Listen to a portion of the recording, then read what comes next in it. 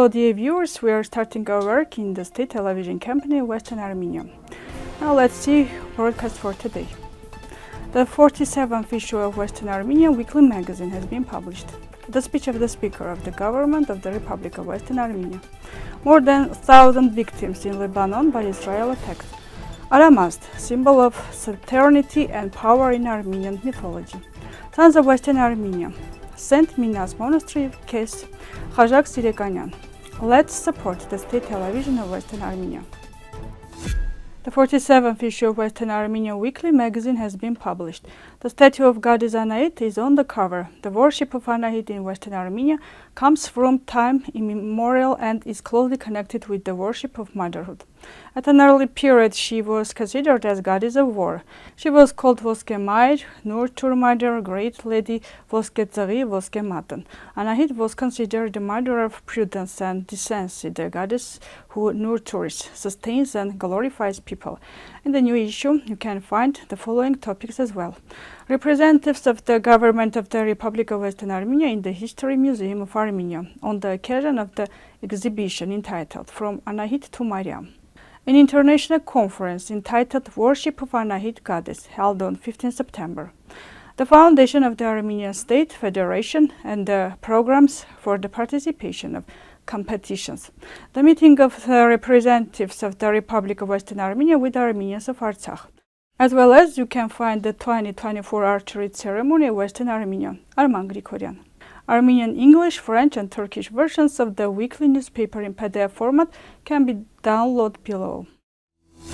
On 6 October, Armenuhi Saakyan, the Speaker of the Government of the Republic of Western Armenia, gave a speech.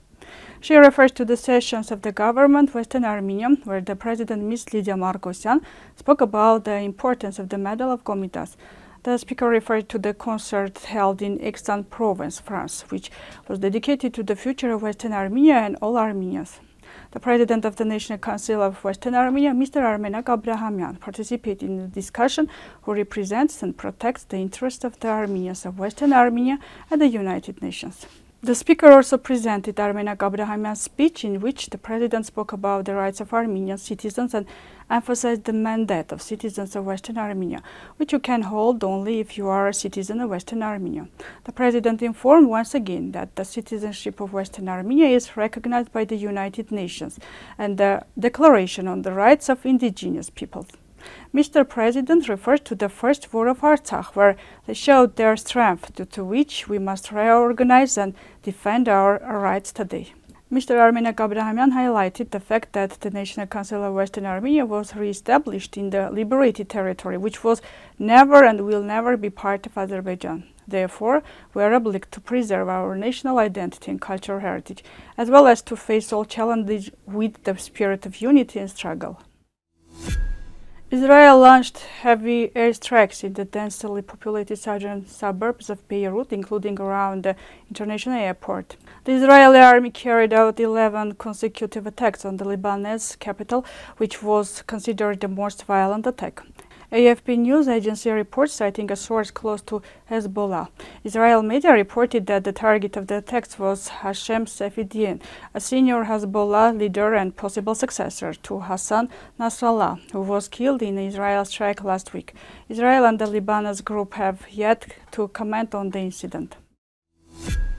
Now let's talk about Aramazd, who is a symbol of fatherhood and power in Armenian mythology, but the claim that he is the highest god in Armenian mythology is wrong. The Armenian system is unique because there is no division of main or secondary gods. There is one god, and the creatures are the embodiments of these attributes. Any father who carries the Armenian value system glorifies Aramazd and tries to awaken his qualities. He strives to be the protector and leader of the family, fair, loyal to family values, and an ideal father for his children. Armenian kings and princes were also guided by the same logic, considering their people as their own children. Have taken upon their shoulders the protection and leadership of the people, maintaining high morals and qualities of nobility as optimized by Aramazd. Aramazd was a perfection of Armenian kings and fighters who tried to be fair, loyal, and protect their family and people. Today, our nation lacks nobility, bearing the values of Aramazd, which is important for our empowerment. Glory to our fathers, the wise leaders of our nation, and Aramazd. Tigran Petrosyan, or as he was called, Yerkate Tigran in English version, Irony Tigran, was a famous chess player known for his exceptional defensive style and a two-time world champion in 1963 and 1966. He became famous for his patient and methodical game. Being the first Armenian world champion in history, he played a huge role in popularizing chess in Armenia. Petrosyan was born in Tiflis in a bankrupt Armenian family. He loved to play chess since childhood. Developing his abilities, he moved to Moscow in order to find better opponents and improve his playing style.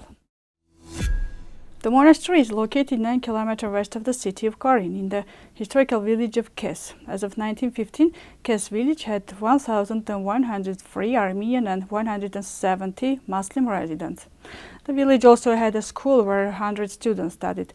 The St. Minas monastery in the middle was built in 1719. However, judging by the Khachkar embedded in the wall of the monastery, on which 1740 was engraved, it can be concluded that the monastery built in 1719 replaced an older building. Western Armenian television, being faithful to its principles and viewers, continues its uninterrupted work with new approaches.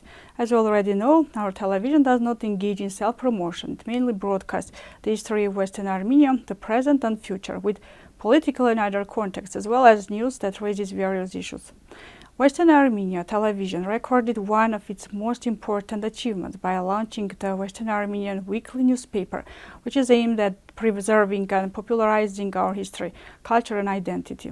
We also present the political transition of the President of the Republic of Western Armenia, the government, the National Assembly, and other structures in a transparent and accessible manner. Dear compatriots, with your support, the possibilities of our television will be further expanded and strengthened. We are strong together. Dear viewers, this was all for today. I wish you a good starting day.